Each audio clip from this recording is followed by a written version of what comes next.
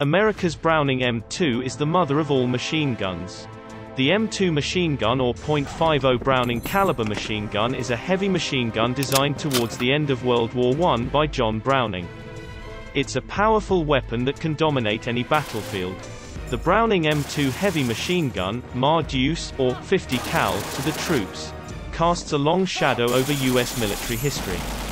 The M2 has been in production since 1933, the longest service record of any weapon in the U.S. inventory, .50 caliber machine guns it fires up to 550 rounds per minute, but it also can fire single shots. The weapon's effective range is 6,000 feet, but its maximum range is 4 miles.